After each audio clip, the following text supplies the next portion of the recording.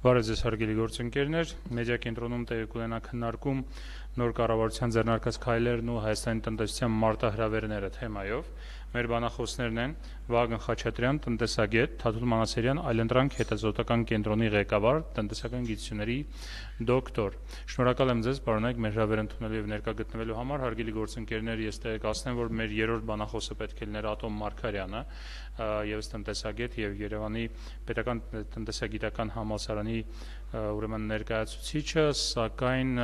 խնդիրներ էին առաջացել իր մոտ, նա հայցեց ներգաղթությունը ձեր, որ չի կարող այսօր ներկա գտնվել։ Շնորհակալ եմ ձեզ ներկա գտնվելու համար։ Պարոն Խաչատրյան, եթե անդրադառնանք այս հենց վերջին, այսպես ասած, եւ ազգային վիճակագրական ծառայության այսպես հրապարակած տվյալներին, հա,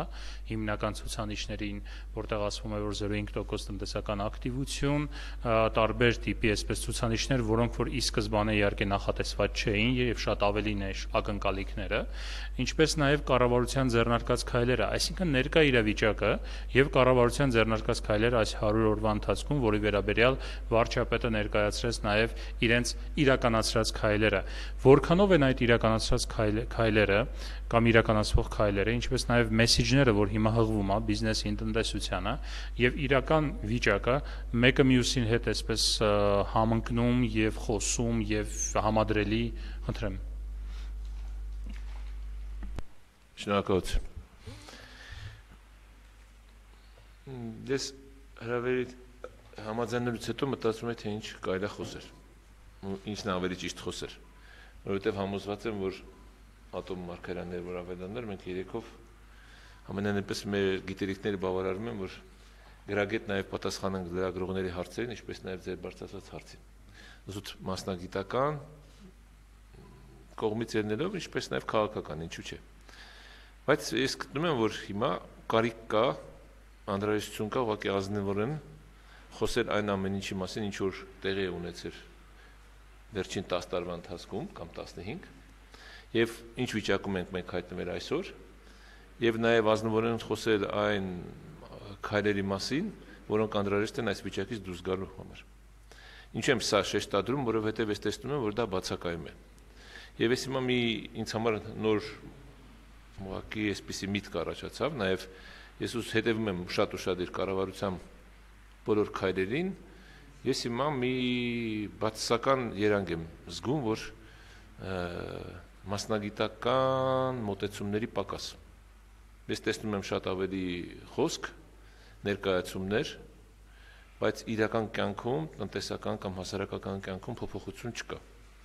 Եվ դա պայմանավորում եմ երկու հանգամանքով։ Կամ այն մարդիկ, ովքեր որ պատասխանատուներ են, ուղղակի նրանք կամ ժամանակի պակաս ունեն, կամ ուղղակի նախկինում մինչ այդ տեղակ չեն եղել այդ բնակավարից հիմա եկել են մեզ համար նոր հայտնագործություններ են անում, բայց դրանք նոր հայտնագործություններ չեն, դրանք իսկապես եղել են այդ բոլոր խնդիրները վաղուց, ուղղակի հիմա սեպտեմբեր ամսից սկսած չգիտես ինչու որոշվեց, որ դրա մասին պետք է հրաապարակավ խոսել։ Ասեն կոնկրետ տնտեսական աճի մասին եմ ես ասում։ Այն ինչ որ հիմա արձանագրում է 0.5% աճ, Բոլորս գիտեինք դեռևս 15 թվականին կամ 14 թվականին, որ Հայաստանի Հանրապետությունում իրականում այն տնտեսական աճը, որ մեզ ներկայացվում է, չկա։ Այսինքն 3.2% աճ էր նախատեսվում։ Եվ այդ պայմաններում պետք է բացատրվեր իրականում ինչա տեղի ունեցել։ Այն ինչ որ հիմա անում է, ասենք 3 վիճակագրական ծառայության պատասխանատուն 168 եմ կար հարցազրույց թե գյուղատնտեսության մեջ այդ թվերի նկարագրությունը ինչպես է ստացվել եւ հավատացնում ձեզ այդ բացատրությունը որևիցե ձևով չի դիմանա որևէ քննադատության, որտեղ այնտեղ ուղղակի նկարչության մասին է խոսում, ինչի մասին մենք խոսում ենք շատ վաղուց։ Հիմա ես այդ հարցադրումն եմ անում, ինչու մենք չենք ուզում նույնիսկ այս վիճակում, երբ որ ունենք զրոյական տնտեսական աճ, շատ ավելի ազնիվ գտնվել եւ ասել, գիտեք ինչ կա, մեր մոտ գյուղատնտեսությունում ըստ էության խայտարակ վիճակ է, մեր մոտ ըստ էության շինարարության մեջ նույն վիճակն է եւ մենք մոտեցումներ դեռևս չունենք ճշգրտված ռազմավարական առումով, որովհետեւ երբ որ հետեւում եք նաեւ կառավարության հայտարարությունների, որ մենք հիմա հիմնականում 5 ճյուղի վրա ենք ուշադրություն դարձել, գյուղատնտեսություն, բարձր տեխնոլոգիաներ, թեթև արդյունաբերություն, լեռնարդյունաբերություն եւ туриզմ։ Եթե վերցնենք նախորդ կառավարություններին, ասենք Տիգրան Սարգսյանին կամ Հովիկ Աբրամյանին, ընդ էլ կգտնեք Նույն բաները կամ դրանից մի հատ ավել, մի հատ պակաս։ Բայց սա հարցադրումը, երբ որ հարցադրումը այս շրջանակներում եք անում, ու դրա կողքին էլ ավելացնում եք ներդրումներ, ինձ համար շատ ավելի անորոշ եւ անհասկանալի մի իրավիճակ է ստեղծում։ Լավ, դուք իսկապես ինչ եք ուզում անել։ Մենք հայտնվել ենք մի աննախանձերի վիճակում, ասեմ ձեզ, որ մեր բոլոր այսինքն կարելի ասել, որ մենք ցախողված երկիր ենք այսօր, աչամողորու ասած ցախողված երկիրներ կարող ենք լինել, կարող ենք դրա մեջ չընդգրկվել, բայց ցախողված ենք, որովհետև բոլոր մեր միջոցառումները, որոնք նպատակամղված են տնտեսական աճին, իրականություն չեն դարել։ Ընթակարակը մենք այս տարիների ընթացքում, վերջին 3 տարիների ընթացքում ավելի վատ վիճակում ենք հայտնվել։ Եսի նկատուն եմ պետական պարտն է ավելացել, եսի նկատուն եմ մարդկանց եկամուտներն են պակասել, եսի նկատուն եմ մարդկանց այս տարվա եւ հաջորդ տարվա գնողունակության ավելացում չի նախատեսում, որտեղ աշխատավարձ չի բարձրացում, թոշակ չի բարձրացում։ Եվ այս պայմաններում արդեն ուղղակի այդպիսի ներկայացումներ անելու փորձեր զուտ նաև մասնագիտական առումով շատ, ես ներողություն եմ խնդրում, բայց այդպես է իմ գնահատականը շատ այսպես միջին մակարդակի նույնիսկ մոտեցումներով փորձեր ասել, որ մենք ներդրումների համար համապատասխան պայմաններ ենք ստեղծում, կներեք։ Ինչ ներդրումների համար ի՞նչ պայմաններ է ստեղծում։ Ես չգիտեմ։ Էնպես որ այդ մարտահրավերները որպես այդպեսին այսօր կան, այդ մարտահրավերները, ես նկատում եմ տնտեսական աճ, բարեկեցության բարձրացում եւ այլ եւ այլն, բայց այդ մարտահրավերների լուծման կոնկրետ ճանապարհներ, միջոցներ եւ խնդիրների լուծման ինչ ուղի է ընտրվել, դեռևս չկա։ Շնորհակալություն։ Պարոն Մանասերյան, դուք նույն եւս նույն կարծիքին եք կամ չգիտեմ ձեր կարծիքուցը այլ է այն իմաստով, որ մարտահրավերներին հստակ պատասխաններ չկան եւ արված քայլերը չեն բավարարում, հատկապես որ եթե չեմ սխալվում հայտարարեց, որ պետական, այսպես համակարգում ռեֆորմների արդյունքում մոտ 3000 պետ աշխատող է, այսպես ասած, տարբեր ոլորտներից հա կրճատվելու։ Այս նաեւ այս կրճատումները մի կողմից իհարկե ողջունում են, որ կրճատումները տեղի ունենում եւ մարդիկ ուղակի աշխատ աշխատավարձ պետական միջոցների հաշվին չեն սնվում, բայց մյուս կողմից էլ այդ նույն մարդիկ երբ որ աշխատավարձ էին ստանում, իրեն գնում, չգիտեմ, հաց էին առնում խանութներից, հա, եւ այլ եւ այլ, այսինքն դա բերում է նաեւ սպառման ուրեմն ծավալների փոքրացմանը ներ, ներսում երկրի ինչպիսին է ձեր գնահատականը խնդրեմ միացվելա շնորհակալություն հրավերի համար իմ գնահատականը շատ կարճ է շատ կտրուկ Երեք կրճատումները ինձ թվում է շատ ավելի դժվար է անել, քան զրոյից եւ շիտակ ցկտումով ճիշտ մարդկանց ներգրավելը։ Դա գրեթե նույնն է, ինձ թվում է իմ գործընկերը կհամաձայնի ինձ հետ, զրոյից քո ուզած տուն կառուցելը շատ ավելի հեշտ է, քան որևէ տուն վերանորոգել, երբ նոր ես մտնում եւ ոչ մի բան քո սրտով չի։ Եթե ինձ տրվեր, ես բոլորին պայմանականորեն գործազուրկ կհայտարարեի մրցույթ չվարկա չվարկաբեկված մարդկանցով հասարակության մեջ, որոնք այդ մրցույթը պետք է գլխավորեն, հա, ընտրեի այն մարդկանց, ովքեր պետք են եւ ֆունկցիոնալ են կառավարման համակարգում Ես չեմ կարծում, որ կրճատումը, ինչքան էլ որ ցանկությունը բարի, լավ լինի, կարող է նպատակին հասնել։ Բազմաթիվ արդեն բողոքներ կան, իսկապես այդ այդ ալիքի տակ բազմաթիվ ընտանիքներ են ընկնում, որոնք մասնագետներ, որոնց հետևում ընտանիքներ են, բայց նույնիսկ սալ դնենք մի կողմ, որովհետև եթե անպետք աշխատող է, կապ չունի, ինքը ընտանիք է պահում թե չէ, ինքը ուղակի պիտանի չէ։ Ցավն այն է, որ այդ կրճատումները խորթային մեթոդներով երբեմն արվում են, չխնայելով ոչ վատին, ոչ լավին։ Ուրեմն, եթե ինձ հարցնեին, ապա ես կողմնակից եմ նորովի, հա, նոր այս մարտահրավերները հաշվի առնում, նոր պահանջները, նոր չեն այդ պահանջները։ Պահանջները նույնը պետք է լինեն մարդիկ, ովքեր ունեն օգտակար գործողության գործակից, առանց որևէ գունազարդումների, քաղաքական կողմնորոշումների, եթե պիտանի են, ապա նրանք պետք է ընդգրկվեն։ Ես սա մի քիչ ավելի կկենտրոնացնեի նաև ինձ համար հոգեհարազատ ոլորտում գիտության։ Մինչև այն պահը ես չեմ դադարի կրկնելուց սա։ Մինչև այն պահը, որ ես չտեսնեմ լուրջ փոփոխություններ գիտության ոլորտում, Մինչև այստեղ մակրում չտեղի ունենա, բացարձակ եւ նորովի կազմակերպվի, մեր լավագույն մրցակցային առավելությունը ամենա ակնառու, որ այսօր մենք ունենք, դա գիտությունն է։ Ուրիշ չունենք։ Մնացածը պոտենցիալ է, ներուժ է, սիրելիներս։ Գյուղատնտեսություն, չգիտեմ, այլ հանքարդյունաբերությունը, ամոթա, որ 18-րդ դարի մակարդակին ենք, ոչ մի բան չենք վերամշակում, ամոթա ուղակի։ Մյուս ոլորտներում էսպես։ Հա,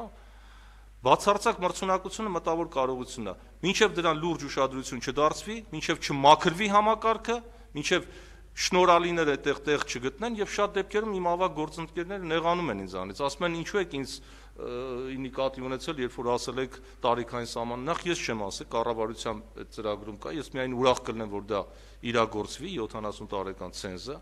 եւ հետո շատ ներողություն կարող է լինեն 80 տարեկան, բայց պրոդուկտիվ աշխատող մարդիկ, սրտացավ մարդիկ, ոչ թե գլուխ պահողներ։ Այստեղ բացարձակ տարիքը կապ չունի։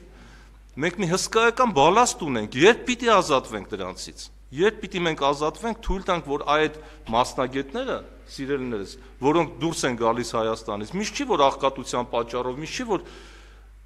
անարթարության պատճառով են դուրս գալիս։ Նրանք են շենացնելու երկիրը։ Մեծ տարիքի կամ միջին տարիքի, մեր տարիքի մարդիկ չեն շենացնելու։ Պարոն Խաչատրյան, ինձ թվում է։ Եթե մենք երիտասարդին հնարավորություն չտվեցինք, մնացածին չեմ հավատում ուղակի։ Չեմ հավատում։ Շնորհալիներին զտեք, բերեք, թող տեղ տվեք։ Սա է իմ մտածումը։ Շնորհակալ եմ։ Ինչ վերաբերում է իհարկե գիրությանը, կրթության եւ ընդհանրապես մարդու զարգացմանը, մեր կառավարության կողմից մենք իհարկե միշտ լսում ենք, որ մեր հիմնական ռեսուրսը մարդն է, չգիտեմ, կրթությունն է, մեր պոտենցիալը եւ այլ եւ այլ, բայց նույն գիտությանը մոտավորապես հատկացվում է այնքան գումար կամ կրթությանը եւ գիտությանը, որքան որ մենք արդեն սկսել ենք տարեկան արտաքին պարտք մարել։ Այսինքն երևի թե մի քիչ էլ ավելի շատ կամ քիչ իրարից, այսինքն սա նաեւ խոսում է այդ հայտարարությունների եւ արված քայլերի դիսոնանսի մասին։ Հարցս հետեւյալն է։ Հազար ներողություն, թույլ տվեք այստեղ մի փոքր դիտարկում անել բնավ այստեղ ես ֆինանսները առայժմ չշոշափեցի. Կազմակերպական խնդիրը գիտեք կարելի է այդ սահմանափակ ֆինանսները անգամ շատ արդյունավետ օգտագործել ոչ թե մսխել ոչ թե հորինել թեմաներ որոնց տակ ֆինանսավորում վերցնել կամ մրցանակներ ստանալ սրա մասին է խոսքը Ճիշտ մենեջմենտը իհարկե շատ կարևոր է։ Հարցը հետեւյալն է. վերջերս տեղի ունեցավ վարչապետի այցը Մոսկվա, դրանից հետո նա հարցազրույցով հանդես եկավ եւ ասաց, որ ասաց, որ մեծ պոտենցիալ ունի այսպես հայ-իրանական սահմանին ձևավորվող ազատ տնտեսական գոտին եւ սպասում են ռուսական ներդրումներ կամ ռուսաս հայ-ռուսական այսպես զարգացման ինտեգրացիոն ֆոնդ պետք է ձևավորվի եւ այլ եւ այլը։ Իհարկե այդ ֆոնդերը ահավոր շատ են Հայաստանում ձևավորվում, տարբեր ֆոնդեր, ինչ կարելի է սպասել եւ ակնկալել հատկապես որ Ռուսաստանը իհարկե կարող է ինքը ուղակի ներդրումներ կատարել Իրանում եւ ստանալ այնտեղից իր եկամուտները, բայց ինչ պոտենցիալ ունի նաեւ այս ստեղծվելիք կամ ստեղծվող ազատ տնտեսական գոտին, հատկապես Հայաստանի նման այսպես փոքր երկրու երկրում կարևոր է պետք է ազատ տնտեսական գոտիներ ձևավորվեն թե չէ այս հարցն էլ խնդրեմ պարոն Մանասերյան հետո դուք պարոն Խաչատրյան ինձ թվում է որ ազատ գոտիները իրենք պետք է նպատակին ծառայեն նախ դա որպես գործիք, որպես միջոց պետք է, ոչ թե որպես նպատակ։ Ստեղծված են այսօր ազատ գոտիներ սահմանամերձ համայնքներում 0 օգուտ։ Կամ լավ PR չի արվում այս ուղությամբ, կամ աշխատանք չի տարվում, կամ տնտեսական քաղաքականության մեջ ուղղակի որպես թիրախներ չի ներառված ազատ գոտիները օգտագործել որպես ներդրումների համար լավ միջավայր, որտեղ պետությունը իդեպ առաջի քայլը պիտի անի, հա, նոր կամ մոդել միգուցե ձևավորի մեկ համայնքում, որը շտկումներով օգտագործվի։ Ես կարծում եմ, որ Իրանի հետ մենք պարտավոր ենք ունենալ ազատ գոտի, սրան այլ ընտրանք չեմ տեսնում, որովհետև բնականաբար մի քանի պատճառներ կան նախ շրջափակումից դուրս գալու երկրորդը, որովհետև միջավայրը աշխարհակաղական այդպեսին է աշխարհ դեպի աշխարհ է բացվում Իրանը, որ դեռ ժամանակ է պահանջելու եւ ինչքան մենք Իրանի կարիքն ունենք որպես այսպես միջանցք, այդքան էլ կարող ենք տալ նույն IT ոլորտով տարբեր բնակավարներով, եթե կարողանանք ճիշտ կազմակերպել ներդրումային հիմնադրամի առումով կարծում եմ դարձյալ, եթե հստակ կա ուրեմն գոնե թեզիսային ձևով ինչ ոլորտներում ինչպես եւ այլն օգտագործել, սա կարեւոր է, բայց դարձյալ ձեր ուշադրությունը ուզում բևեռել հետեւյալի վրա. Ներդրումային միջավայրը դեռ մեզ համար, տեղացիներիս համար պետք է գրավիչ լինի, նոր հետո ուրիշներին փորձեն գրավել։ Սա մեկ, երկրորդը, մենք ինչ ենք անընդհատ ասում ուղակի ներդրումներ։ Արտա նախարտակին ներդրումները օտարերկրան ներդրումներից առաջ մենք իսկապես պիտի ներքին անենք, բայց դրանից բացի պորտֆելային ներդրումներ կարող են լինել Հայաստանում, թե չեն կարող լինել։ Ինչու չկան դրանք մինչև հիմա։ Ինչու է շուկան դեռ կայացած չի։ Ինչն է որ մեզ խանգարում է բավական խոսակցություններ են գնում եւ բավական լուրջ մակարդակներով եւ կառավարական եւ գիտական եւ Դավոսում վերջին աշով վերջերս տեղի ունեցած այլ ընտրանքային ներդրումների մասին ինչի դրանք չեն օգտագործվում կամ դրանց վրա ուշադրություն չի բևեռվում մենք ֆիքսվել ենք միայն ռազմավարական դաշնակցի վրա Ռուսաստան կանես այս ներդրումները լավ է չես անի ուրեմն կորացենք այս կախվածությունը մեզ կոչնչացնի մի օր Երբ պիտի մենք բազմազանեցնենք, որ վերջապես չինացին էլ գրավիչ տեսնի Հայաստանը, ուզբեկն էլ, չգիտեմ, Նիկարագուայից էլ որևէ մեկը, այսինքն մենք բացվենք դեպի աշխարհ, կարողանանք գրավչություն ապահովել եւ առաջինը մենք դա անենք։ Այս սրանից հետո նոր կկարողանանք ներկայացնել Հայաստան արտաքին աշխարհին։ Ինձ թվում է դեռ Հայաստանի ազգային մրցակցային առավելությունները չեն էլ բացահայտվել։ Մենք որևէ մեկս պատկերացում չունենք։ Դա այսօր այս 4 խումբ ապրանքներն են, որ նշվեց, թե դրան գումար են գինեգործություն, դեղագործություն, ինչպես նշվել է, ու հետո ու ու վերացել է մեջտեղից, հա վաղը կարող է ուրիշ բան լինի, ճշգրիտ սարքաշինություն, որը ժամանակին Չարենցավանն էր VPK-ի մեջ էր, միգուցե ուրիշ բան էր։ Ես անձամբ կողմնակից եմ, որ հրաշալի գաղափար է, իհարկե դա նոր չի ծնվել, շատերը ողջևորվում են դրանով, բայց դա նոր գաղափար չի, որ ռազմաարդյունաբերական համալիրը ինքը դառնա շոքե քարշը ոչ թե բեր դառնա տնտեսության համար։ Ես սրա համար հենց 3 առաջ օր ավարտել եմ նոր հոդված պատերազմի տնտեսագիտություն, որտեղ փորձում եմ գոնե ինքս ինձ համար վերլուծել հասկանալ տնտեսությունը պիտի միակողմանի ձև անի, որ չի տեսնում, որ պատերազմի մեջ ենք, թե դա հաշվի առնելով նոր մոդել ձևավորի եւ տանի իր հետևից մնացածը, որովհետեւ չմոռանանք IT ոլորտը դա հանկարծ չծնվեց անկախության օրոք, հա, դրա արմատները կային։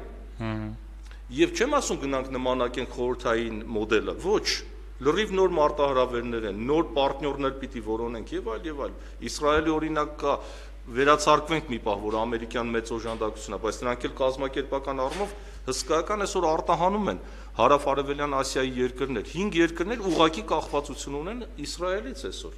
Վիետնամը արդիականացվում է Իսրայելի շնորհիվ եւ այլն։ Այսինքն Հայաստանը պարտավոր է մտածել նման մոդելի մասին, եթե խոսում են ներդրումների մասին։ Շնորհակալ եմ, իհարկե պատերազմի տնտեսությունը եւ պատերազմի տնտեսագիտությունը շատ հետաքրքիր թեմա է, հատկապես մեր համար։ Պարոն Խաչատրյան, նույն հարցը ձեզ եւ ներդրումների մասով կուզեմ այսպես մի փոքր հարց ավելացնել։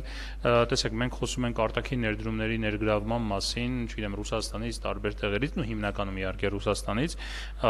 բայց մենք ունենք հարևան Վրաստան, որը իհարկե լոգիստիկ առումով ավելի եւ աշխարհ աշխարհագրական լոգիստիկ առումով ավելի գրավիչ է։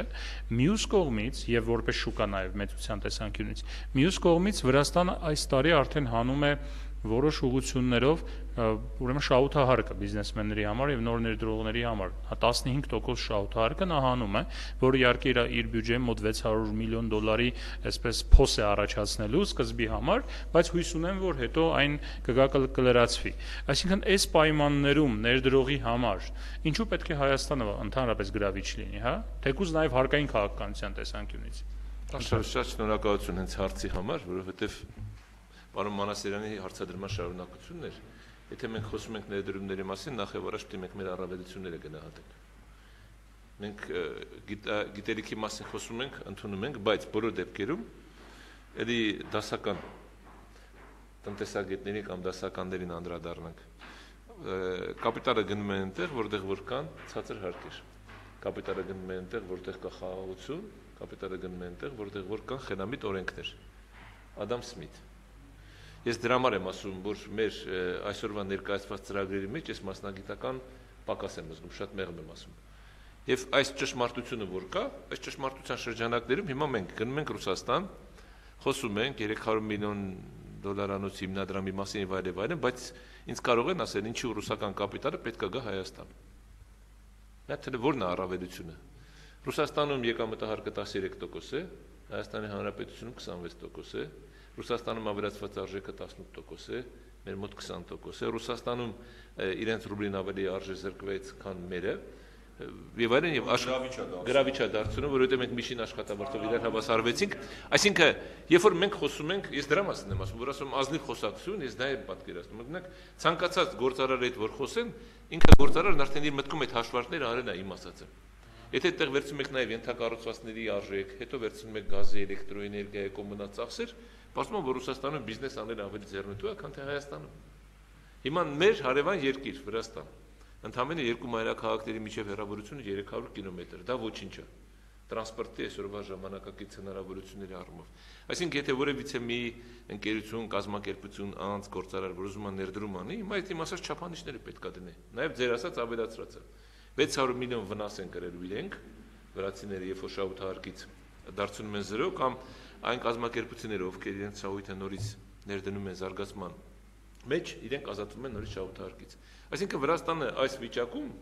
ինքը ճանապարհներ է փնտրում, որպեսզի կարողանա զարգացում ապահովել։ Ներդրումներ իր ներգրավի։ Անց 9 ամսվա տվյալները այսպեսին էր ուղակի ներդրումների առումով. 1 միլիարդ 625 Վրաստան, 92 միլիոն Հայաստան, Ադրբեջանը 5 միլիարդ 439 միլիարդ։ Մենք ինչի մասին ենք խոսում։ Լավ է, տնտեսական ազատ գոտի ճիշտ է, մեզ համաձայն է պարոն Մանասերյանը, դի վերջո այդ գործիքները պետք է օգտագործել, բայց այդտեղ Նաև խնդիրը չի ձևակերպված, ինչի համար եք դա անում։ Ու մենք բացատրում ենք, դա անում ենք նրա համար, որովհետև Իրանին ավելի ձեռնտու է Հայաստանի միջոցով մտնել Եվրասիական տնտեսական միություն։ Հիշում եք, երբ որ մենք 14-ին 19 Իսկ Կասպից ծովով ձեռնտու չի։ Ես? Դա եմ ասում ձեզ։ Հիմա տեսեք ինչա, մեզ ոնց են ներկայացնում ԵԱՏՄ, չէ՞։ Ասում են 180 միլիոնանոց շուկա, Հայաստանը կարող է միջնորդ երկիր դառնա եվրոպական կամ երրորդ երկրների միջոցով, որպեսզի այդ շուկա մտներ, բայց մենք ինչա միջնորդ ենք, հա։ Մենք այդ շուկա մտնելու ուրիշ խնդիրներ չունենք անելու, հա։ Մենք չենք մտածում այդ շուկան ինքներս մեր արտադրանքով մեր Ես այ հենց դա է, ես ուզում եմ ասել, որ այդ ռազմավարությունը չկա։ Այն ինչ որ հիմա խոսվում է, այն ինչ որ մեզ ներկայացում, այդտեղ ես ռազմավարական քայլ չեմ տեսնում։ Ընդհանրապես ես տեսնում եմ, որ նախարարը դուրս է գալիս, ինչ որ մի բան ասում, ասենք, ասում է գյուղատնտեսական մթերքների արտահանման ծավալները 6 անգամ աճել են։ Լավ խեք խափում մեզ։ Չգիտենք, որ 6 անգամ մենք այդ չի աճել Արտահանումը միգուցե աճել է, ես չգիտեմ ինչ պայմաններում, ինչի արդյունքում։ Չի աճել, շատ ներողություն, սուտ է դա։ Հա, ռեէքսպորտ են անում։ Վերջ, ես դրա վերային, վերային։ հանցավոր համաձայն ճիշտ եք վերջ։ Ռեէքսպորտ է արվում։ Չի կարելի խափել։ Ես դա եմ ասում։ Եկեք, եկեք ճիշտ ասեմ։ Մի քանի ճյուղով, սա մենակ լոլիկը չի, սա նաև ոսկերչությունն է տարբեր տեղեր, տեքստիլ եւ այլն։ Ես խոսքը դրա մասին է, երբ որ ես ասում ազնվությունն է պետք։ Եկեք ինչ եք դրա մասին խոսում։ Դուք ինչի եք խոսում այդ 6 անգամ ավել գյուղատնտեսական մթերքի ավելացման արտահանման ծավալների մեծացման մասին, որ գիրեք, որ դրա տակ մաքուր չի։ Գոնե եթե ցույց տային, որ ներմուծում կա, ու հետո ռեէքսպորտ կա, պարոն Մանասերյան, ելի ես կհամաձայնվի, բայց այդ ներմուծման մեջ, օրինակ տեսեք ինչա, Թուրքիայից արտահանվում է գյուղատնտեսական որոշակի արտադրանք դեպի Հայաստան, Հայաստան չի ներկրվում։ Լեհաստանից արտադրվում արտահանվում է Հայաստան գյուղատնտեսական որոշակի արտադրանք, Հայաստանում չի ֆիքսվում relabeling արվում եւ գնում։ Իսկ մենք խնդիրը սանում է, այսինքն ես ուզում եմ ասել, եթե մենք պետք է շարունակենք խափել, եթե մենք ուղակի պետք է վեկենանք հերոստատեսության կամ հասարակության արժեվ ուղակի ելույթ ունենալ նրա համար, որ պարզապես ելույթ ենք ունենում, ես հավատացնում եմ դες, այն 92 միլիոն ուղակի ներդրումներ որ կա, դա չի լինելու, որտեվ ի վերջո գործարարները այն մարդիկ ովքեր իրենք գումար աշխատելու ցանկություն կամ մասնագիտացած են այդ գործում, նրանք շատ լավ գիտեն դրա գինը։ Եվ այսօրվա կառավարության մոտեցումները այդ առումով ես ինձ չեմ բավարարում, ես համոզված եմ նաև հասարակությանը, առավել եւս գործարարներին, այդ խոսակցությունները որ կա, տեսեք ինչա, շատ ինձ համար են անընդունելի մեթոդները։ Նույն Ռուսաստանի հետ այդպիսի կարևորագույն ռազմավարական գործընկեր ունենալու պայմաններում շատ հասարակացնել, հասարակ դարձնել այդ հարաբերությունները այդ մակարդակի վրա։ Ես օրինակ դրանից շատ ինքս վատ եմ զգում։ Շատ ավելի լուրջ գործընկեր է, քան թե կարելի է պատկերացնել։ Նրա պոտենցիալը շատ ավելի լուրջ է, քան թե կարելի է պատկերացնել։ Մենք այդ պոտենցիալը չենք օգտագործում։ Մենք ընդհանրապես մտածում ենք ինչ որ ձևով այսպես խափելով, ինչ որ զարթուղի ճանապարհներով ռուսական շուկայի մի փոքր տեղ գրավենք ու ասենք գիտեք ինչ կա մենք բավարարված ենք։ Ոչ, մենք հայտնվել ենք ծանրագույն վատ վիճակում։ մենք հայտնվել ենք փոսի ներքևում, մենք պետքա փորձենք այս վիճակից դուրս գալ։ Եվ այդ խնդիրները պատերազմով պայմանավորված է, իհարկե պայմանավորված է, բայց դա նշանակում որ մենք այդ հանգամանքը պետք է հաշվի առնենք, ոչ։ Այսինքն մենք կարող ենք այս պատերազմական վիճակում գոնե վիճակներից բարելավել, այո։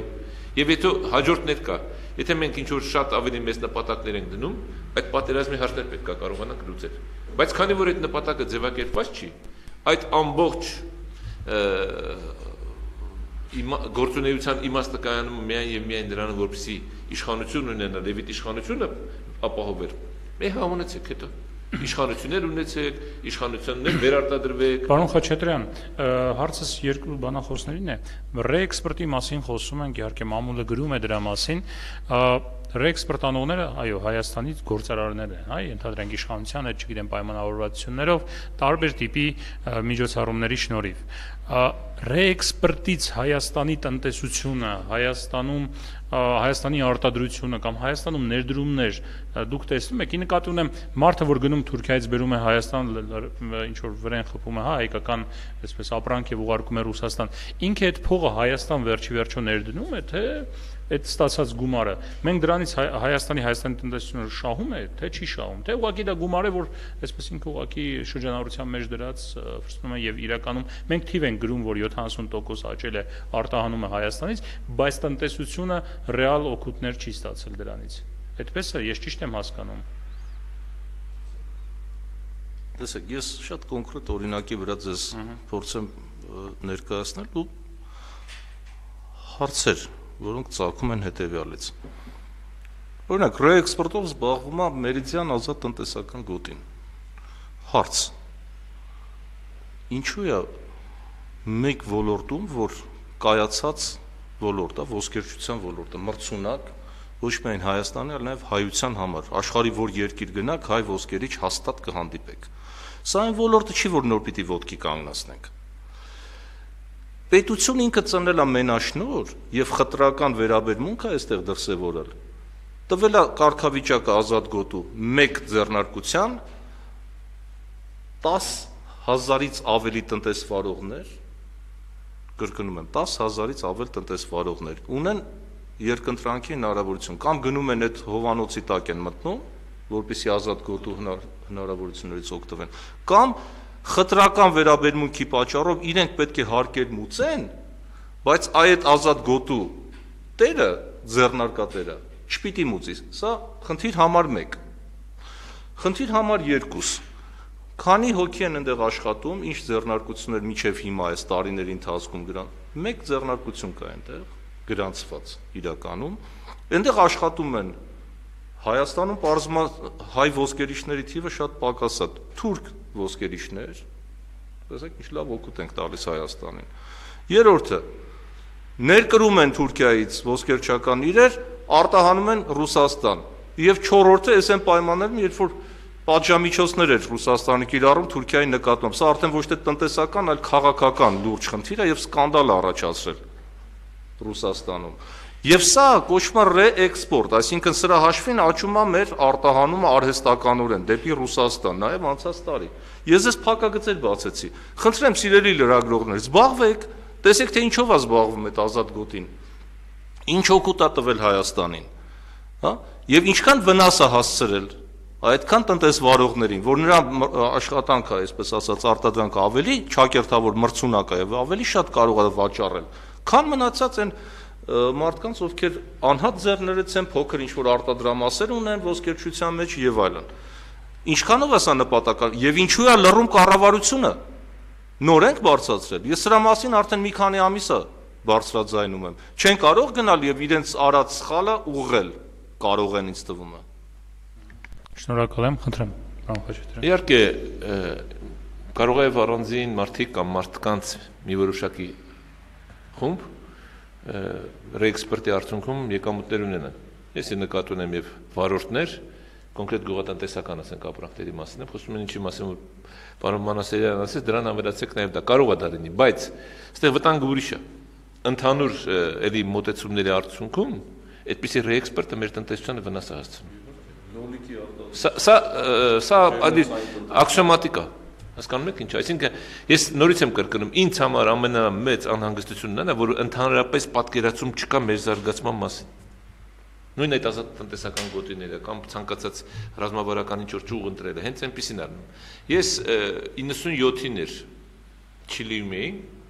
շատ հետաքրքիր պատմություններ կհետաքրի երևի ձեզ, իրենց խաղողի հետ կապված։ Տարան ցույց տվեցին, թե իրանց մոտ խաղողի ընդհանրապես խաղողագործություն ինչպեսին է, էականորեն տարբերվում է ինչ որ մենք ենք սովորել։ Բայց տեսեք ինչ են անում որպեսի խաղողագործությունը զարգացնեն, հիմա Չիլիի գինին դեռևս 97-ին է հեղինակությունը ունի, հիմա աշխարհում ամենաճանաչված գինիներից մեկն է գինեգործությունը։ Ուրեմն իրենք ուզում են նաև բացի գինի ու արտադրությունից ուղղակի խաղողը վաճառվեր, այդպեսին։ Պարզվում է, որ Նյու Յորքի շուկայում, հենց Նյու Յորքում ամենա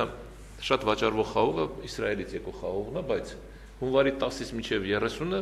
Իսրայելի խաղողի ոնց որ մատակարանները դադարեցում, որտեղ իրենք մինչև այդ են կարողանում անել։ Այդ 20 օրվա ընթացքում որպեսի կարողանան թարմ խաղող իրենք այդ շուկան գրավեն, այդ 20 օրը որպեսի թարմ խաղող վաճառվի։ Ուրեմն իրենց վեգետացիոն այդ գյուղատնտեսական տեխնոլոգիաների փոխում են գիտական։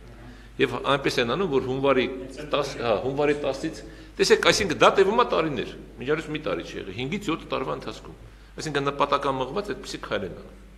Երկրորդ օրինակը մեր հարևան Վրաստանն է, որը դարձավ туриզմի կենտրոն Հարավ Կովկասի եւ տարածաշրջանների։ Սահակաշվինին եկավ այդ խնդիրը դրեց 7-8 տարվա ընթացքում ներդրումներ, դուք Բաթումին շատ լավ հիշում եք, ասենք ով որ 93-ին եղել ընդհանրապես Երևանը հիշում եք, Բաթումի գոյություն չունի, դա մի գյուղ էր։ 97-ին էլ մի հատ եթե գնայեք 2004-ին էլ ոչ մի բանով չէր տարբերվում։ 2004-ից հետո 5 տարի հետո գնում եք ուրիշ Բաթումը հիմա արդեն Պարզվում է Հայաստանի քաղաքացիները 40000 մարդ գնացել են այն հունվարը այնտեղ անցկացնելու։ Այսինքն ծրագիր էր դրված, այդ ծրագրի իրականացման համապատասխան միջոցառումներ կար։ Մեր մոտ էս այդ ծրագիրը ինչ որ թվարկեցինք մենք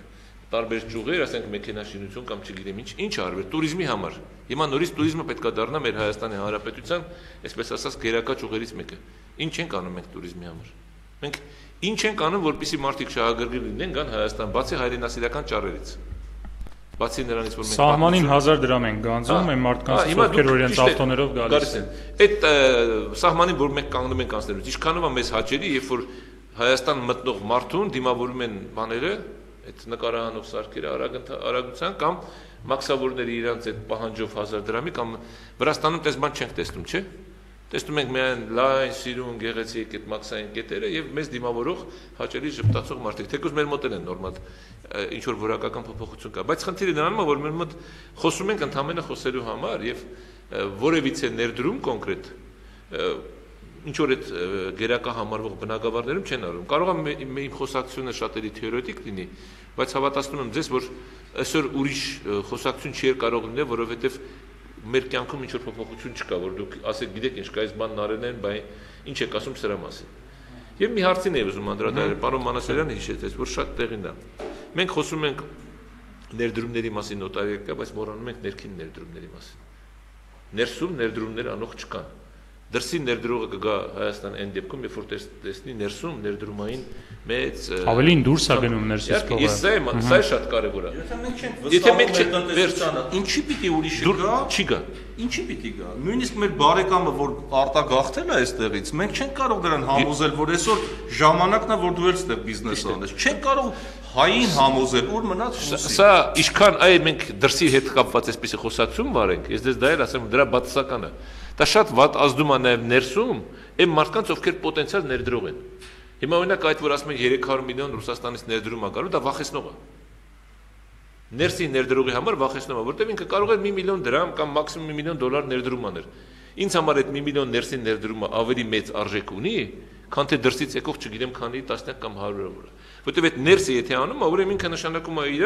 ներսում գործող տնտեսական պայմանները, միջավայրը շատ ընկալելի է։ Եվ համոզված եմ, տեսեք, շատ դեպքում իշխանության այս ձգտումները, ավելորդ ներկայացումները, ավելորդ խոսակցությունները ընդհանրապես խանգարում են։ Ավելի լավ կլինի ինչ որ պահ լռեն։ Այն որ լռության րոպեներ արինում, չէ՞։ Թող լինի լռության երամսյակ։ Բոլոր առումներով եւ աշխատանքի։ Հա, բայց տեսեք, ասում եմ բոլոր առումներով, քիչ խոսեն, քիչ փոփոխություններ են ներորից դրական դաշտում, ոչինչ չանեն։ Երեք հա, հավատացած եմ, դրա արդյունքում մենք ավելի մեծ հաջողություններ կարձանագրենք, քան թե ամեն օր Երևի լրագրողներին էլ, մեզ էլ, մասնագետներին էլ լավ այսքան ինֆորմացիա են լցնում, որ ինչ, որ շփոթվենք, չենք շփոթվի։ Յա, շնորհակալ եմ, հարգելի գործընկերներ, հարցեր ունեք։ Եթե ունեք, եթե չէ, իմ հարցը եւ այսպես նաեւ ամփոփենք այս հարցով, Հայաստանը մինչև հիմա վերջերս նաև տեղի ունեցավ, իհարկե մենք չգիտենք ինչ է քննարկվել, բայց հավանաբար նաև այդ հարցը քննարկվեր վալյուտայի եւ ուրեմն մեր արժույթի հարցը տեղի ունեցավ նախագահի այցելությունը կենտրոնական բանկ, կենտրոնական բանկում քննարկեցին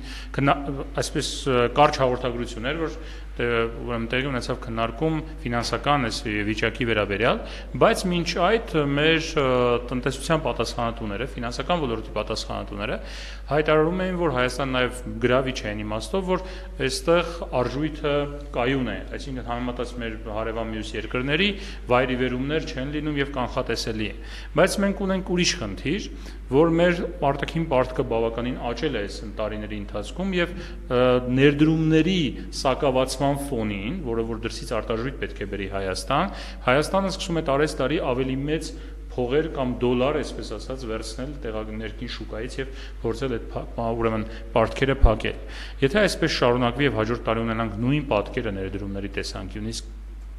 որ այս այս տարի ունենք, մեր արժույթի վրա ճնշումներ կլինեն, կարելի է սпасել ճնշումներ։ Չէ, այսինքն ներդրումների պակաս հիմա, բայց արտաքին պարտքը ավելանում է, արտաքին պարտքը մենք ավելի շատ ենք սկսելու փակել, այսինքն դոլար ենք վերցնելու Հայաստանից եւ փակելու ենք։ Մեր դրամի վրա ճնշումներ կլինեն։ Բնականաբար փոխկապակցված երևույթներ են սրանք, բայց վախենալ պարտքի մեծությունից, օրինակ նույն Վրաստանը բավական այդ թվերով եթե խոսենք, ավելի անմխիթար վիճակում է հայտնվել արտաքին պարտքի, բայց ինքը չի վախենում, որտեղ ինքը ունի ռազմավարություն, ունի հստակ թիրախներ, ասում է ես ինչքան էլ որ բերեմ, մարսում է տնտեսությունս եւ արդյունք է տալու, outcome-ը կա։ Այս իմաստով, եթե մենք ունենանք այդպիսի խիզախություն, կարող ենք դեռ շատ ներգրավել։ Իմ պատկերացմամբ 5 միլիարդից ավել էլ կարող ենք նույնիսկ, բայց գոնե 5 միլիարդ ճյուղային կտրվածքով կան ճյուղեր, որոնք եթե ճիշտ ծրագրերով մենք դա կազմակերպենք ոչ թե գաղափարների մակարդակով եւ ուրաներով ասենց կենասների շատ ոլորտներ կան բայց ես մյուս կողմից համամիտ չեմ այն տեսակետների հետ, որ ասում են, այ եթե դրամը ավելի արժեզրկված լիներ, արտահանումը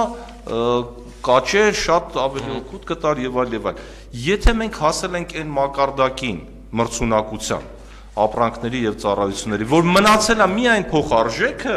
եկեք բոլորս խնդրենք, ասենք, սիրելի կենտրոնական բանկի ինչ կլինի, մի քիչ իջացնու, թող այս հարցն էլ լուծվի։ Բայց կարծում եմ, որ դա գործոն չի։ Եթե այդպես լիներ, երկու արժեզրկումները, որ եղան, կարծեմ 12 թվական, հա, 10 14-ին, 14-ին դեկտեմբեր ընդ որում երկնիշ թվերով։ Սրանք պիտի ուրեմն ավտոմատ այդ մարդկանց եթե լոգիկային հետևենք, պիտի ավտոմատ արտահանման ավելացում բերեն, բայց հենց այդ տարիներին մենք տեսնում ենք, բայց լուրջ անկումներ ենք ունեցել եւ նվազումներ։ Իհարկե փոխկապակցված գործողություններ են, բայց սրանց արանքում բավական շատ գործոններ կան եւ անելիքներ կան, եթե կուզեք, որոնք բերում են հավասարակշռության եւ ներուժի ավելացման, որ մենք ի վճարունակության, եթե կուզեք պետության, որ կարողանանք առանց վախենալու եւ սпасարկել արտաքին պարտքը եւ մյուս կողմից նոր պարտքեր վերցնել։ Սրա համար հաշվետվողականության ինստիտուտը արտաքին պարտքի հետ կապված պետք է բավական ոչ միայն կայանա, այլ պետք է փոխվի, եթե կուզեք, որովհետեւ ինչ է տեղի ունենում կառավարությունը նախկինում հիմա չգիտեմ ինչպես է, որովհետև օրենքը չի փոխվել, կարծում ենթադրում եմ նույնն է։ Բերում էին, ուրեմն կնքված արդեն պայմանագրեր, հա, վարկային եւ այլն։ Եվ ազգային ժողովը պետք է հաստատեր դա։ Դուք որևէ մի դեպք հիշում եք, որ ազգային ժողովը չհաստատել որևէ վարկային պայմանագրեր, այնպես բան չկար։ Ես համոզված եմ, որ հակառակն է ճիշտ։ Ազգային ժողովից նախ նորմալ ընտրված ազգային ժողովից նախ քննարկվի խորհրդակցեն նպատակահարմարությունը այս եւ ոչ այլ ոլորտի համար վերցնելու հիշեցնեմ որ եղել են շատ վարկային պայմանագրեր որոնք աննպատակ են տրվել հենց նույն Ռուսաստանի Դաշնությունից վարկը 2009 թվականի 500 միլիոն, որը հետո մենք շատ ներողություն այսպես կաշվից դուրս գալով եվրոբոնդեր թողարկեցինք։ Հիշեք, այն օրվա վարչապետի խոսքը ասում էր արտոնյալ վարկ ենք վերցրել որը Libor +3, Libor հետո ուշացնելու դեպքում Libor +7, որը 14%-ի է հասնում արդեն այդ ռազմավարական դաշնը, բայց դա ռազմական դաշնակիցը մեղ չունի։ Մենք ենք մեղավոր, որ չունենք ծրագիր ու մոտեցում։ Այ երբ որ ազգային ժողովում կհամաձայնեցվի, որ ոլորտի համար ինչպես մեխանիզմը ամբողջ հաշվետվողականությունը, մակրոտնտեսական էֆեկտը ինչա տալիս դրանից, որ մենք վերցնում ենք եւ ոչ թե վնաս, այլ օգուտ, այդ ժամանակ վերցրեք։ Այ պիտի պատասխանատվությունը այս աստիճան լուրջ լինի ոչ թե վերցնենք եւ հետո ասենք լավ կկառուցենք հյուսիս հարավը թե չենք կառուցի թերացում կունենանք թե չենք անի մյուսին կհանենք գործից մյուսից կուզենանք հաշվետվություն թե ոչ այսպես չի կարող Դիլիջանի դպրոցը պետք է թե պետք չի իհարկե պետ եկամուտները կառուցեց եկեք իմատանք Մոնտե Մելկոն Հմ խնդրեմ միացրեք դրանից շարունակեմ ես էլի գալիս եմ այդ ռազմավարական խնդրին մենք ուղղակի իրավիճակային լուծումներ ենք տալիս մեր արժև ցակած խնդիրների։ Եվ բացի դրանից շատ դեպքերում ավելի վտանգավոր բան ասեմ, որոշ պաշտոնյաների անձնական ցանկություններն են բավարարում։ Ես կարող եմ երկու դեպքներ ասել, եւ ֆինանսական կենտրոնը, այսպես կոչված կենտրոնական բանկի մասնաճյուղը Դիլիջանում եւ պետական եկամուտների ուսումնական կենտրոնը։ Դրանք որևիցե ձևով այսինքն որևէ անհրաժեշտություն չկար այդ կառույցները ունենալու։ Միտեղ ծախսել ենք մոտորապես 200 միլիոն դոլարի, հասնող գումար, եսի նկատում կենտրոնական բանկի մասնաճյուղի, միշտ դեպքում չգիտեմ ինչքան։ Այսինքն խնդիրը հենց սրանում է կանում, որ նաև պետական պարտքի գոյացման առումով պետական պարտք իհարկե իրավիճակից ելնելով, նաև միջազգային կոնյունկտուրայից ելնելով ֆինանսական ձեռնտու գործարք կարող է լինել։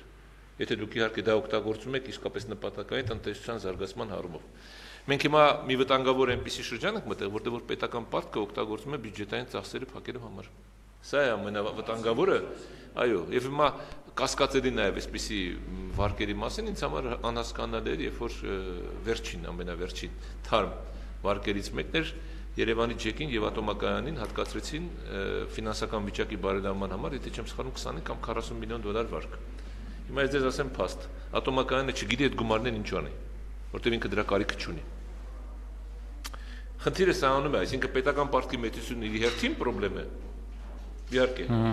ֆինանսական առումով պետքա վճարել ճնշում բայց երբ որ այդ պարտքը արդյունավետ է օգտագործում ասենք ինչպես կարող ենք վրացական օրինակը բերել դա շատ քիչ անհանգստացնի որովհետև նույն մեր այսօրվա պետական պարտքի համար ավելի շատ անհանգստացնող հանգամանք այն է որ մենք չունենք տնտեսական աճ մենք չենք կարող դա ապահովել եւ այդ առումով ձեր բարձրացած հարցը կարող է շատ ակտուալ դառնալ 2017 եւ 18 թվականի համար այսինքն մենք չունենանք արտահանումից մուտքեր Մենք ըստ էության տրանսֆերտների առումով կրճատումներն արդեն բոլորս հասկանում ենք, որ սովորական երևույթ է դա դրանով պիտի բավարարենք։ Լրացուցիչ միջոցներ արտաքին պարտքը եւ ոչ միայն պետական, այլ նաեւ մասնավոր սպասարկելու համար անհրաժեշտ լրացուցիչ միջոցները ստանալու համար պետք է կենտրոնական բանկը իր ռեզերվներից հանի։ Իսկ դա նշանակում է ուղղակի արժե զրկում դրամի։ Եվ ես դրանել եմ համաձայն, որ այդ տեսակետը որ կար, որ եկեք արտա արհեստական նույնիսկ արժե զրկենք արտահանումը, որպեսի խրախուսենք, դրա կարիքը չկա։ Եթե մենք այդպես ենք անելու, նշանակում ավելավա չանենք, որտեղ դրա հաջորդ 2 տարիների ընթացքում տնտեսության արտադրողականությունը չի բարձրանա, էֆեկտիվությունը չի բարձրանա։ Ըստ ես, գիտեք, մյուս մասին ենք խփում։ Եվ մի վերջին հանգամանք է, երբ որ կենտրոնական բանկում, քանի որ այդ միջոցառումն է տեղի ունեցել, ես բովան մանրամասն բովանդակությունը չգիտեմ, բայց ինձ ինչն է անհանգստացնում։ Զուտ մասնագիտական առումով, գիտական առումով այն հրաապարակումները, որ կան կենտրոնական բանկի կողմից, նորմալ է բարձր մակարդակով արված են բայց դրանք իրական կյանքի հետ կապ չունեն որտեվ իրական կյանքի հանգամանքներ, ասենք մենաշնորհային տնտեսություն ունենալու հանգամանք այդ հաշվարկներում չկա քաղաքականություն Եվ տեսեք ինչ է։ Բանկը միշտ հակարացված է իր գործոններ, հա։ Որտեվ ինքը շատ ներողություն, եթե իրականում վերցնենք օբյեկտիվ խոսենք, մեր երկրում միակ լուրջ պրոֆեսիոնալ կառույցն է։ Հստակ աշխատող Հա եթե մենք ունենանք նման օրինակ 1-2 թեկուս նախարարություն, ես այնքան ուրախ կլինեմ։ Էկոնոմիկան մեկ պիտի լիներ։ Որ իրենք արդարացնեն իրենց գոյությունը։ Գոհ են դժգոհ են, բայց հստակ աշխատող կառույց է։ Ես այնտեղ ավելորդ մարդ չեմ կարծում, որ բերեն ասենք մի 10 հոգի, որոնք միայն համակարգչի վրա խաղեր կխաղան, որը նախարարություններում լիքն է։ Դժվար է այդպեսին հանդուրժեն կենտրոնական բան, բայց եկեք այդ անունը տանք այդ կառույցի այն ժամանակ, Երբ որ իսկապես հասունացել են բոլոր խնդիրները լուծել ենք, ասում ենք կենտրոնական բան, քո դրամավարկային քաղաքականությունը կարծում ենք ոնց որ թե այնտեղ պիտի մի քիչ շտկես։ Մենք ամեն ինչ արել ենք։ Չէ՞։ Ու տեսեք, ինչից է, ինչի համար եմ նաև սա շեշտում, երբ որ նայում եք իրենց առաջի երամսյակ, երկրորդ երամսյակ, խոսքը գնում է 216 2016-ի դրամավարկային քաղաքականության մասին, իրենք այսպիսի անկում տնտեսության չէին նախատեսում։ Սա եղավ միայն նոյեմբեր ամսին, երբ որ հրապարակվեց իրենց երրորդ երամսյակ։ Ես չգիտեմ ինչով է պայմանավորված, սա իրենց մոտ բաց թողում է ես նկատում, որովհետև նորից եմ կրկնում, իրենք իրական կյանքում տեղի ունեցող իրադարձությունները իրենց այս հաշվարկներում կամ վերլուծություններում ցավոք սրտի հաշվի չեն առնում, որովհետև ի վերջո սա քաղաքական հարց է կամ միգուցե մինչև երրորդ երամսյակի իրական կյանքը այլ իրական կյանք էր դրանից հետո այսինքն քաղաքական էր այսինքն քաղաքական տեսեք տեսեք ասենք որ այդ գործոնները չպիտի ազդեն տնտեսության վրա ասել սա էլ բան չի при прочих равных условиях կարող է այդ բանը ապահովել մի բանը լավել Ապրիլյան պատերազմը նախատեսված է, չէ։ Հուլիսյան դեպքերը նախատեսված են, ոչ։ Կառավարության փոփոխությունը նախատեսված է, ոչ չգիտեմ, 1000 այն ռեգիոնալ զարգացումները նախատեսված են, ոչ, համաշխարհային տնտեսության աճի տեմպերը որոշ չափով հաշվի առնված են, բայց այս աշխան չէ։ Հհ։ Շնորհակալ եմ ձեզ քննարկմանը մասնակցելու համար։ Ինձ մնում է հիշեցնել, որ մեդիա կենտրոնում տեղ ունեցավ քննարկում նոր կառավարության ձեռնարկած քայլերն ու Հայաստանի տնտեսության մարտահրավերները թեմայով մեր բանախոսներն էին Վագն Խաչատրյանը եւ Թաթուլ Մանասերյանը։ Շնորհակալություն ձեզ հետաքրքիր քննարկման համար, ոչ նոր հանդիպում։